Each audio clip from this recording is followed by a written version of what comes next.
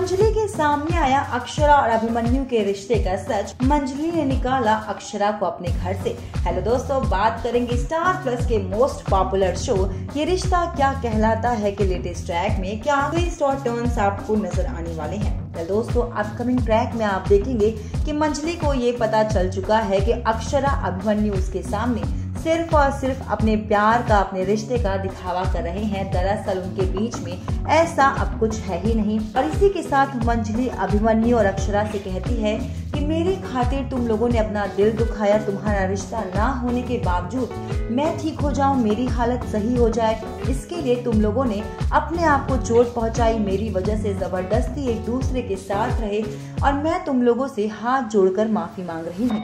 जहाँ पर अक्षरा और अभिमन्यु को ये बात उनकी बिल्कुल अच्छी नहीं लगती और इसी के साथ आप देखोगे मंजली ले आती है अक्षरा का बैग। जी हाँ वो पूरा सूटकेस ले आती है अक्षरा के सामने, जहाँ पर अभिमन्यु अभिमन्यु अक्षरा चौक जाते हैं और कहते हैं कि माँ, ये सब क्या है?